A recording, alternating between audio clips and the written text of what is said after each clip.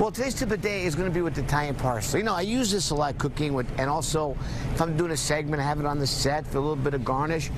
But cooking with Italian parsley to me is essential. It's part of the aromatics. It gives out such wonderful flavor. The oils of Italian parsley just lends itself so well when you begin cooking with it, when you saute with it, and when you finish with it with the freshness.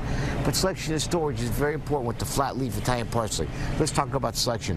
When you buy, you want to make sure it's nice and green like this, and like fresh cut flowers, standing straight up.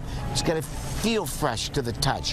When you bring them home, put them in the refrigerator, open up the bag a little bit, but don't store them for too long. Otherwise, they'll start turning yellow on you. Buy them, enjoy them in two or three days, and that's it. Italian parsley. Great to garnish, great to cook with. So versatile. So delicious. And I'm Tony Tantillo, your fresh grocer. And always remember to eat fresh and stay healthy.